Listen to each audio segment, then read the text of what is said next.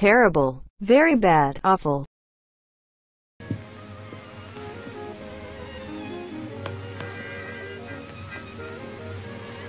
This pudding tastes terrible.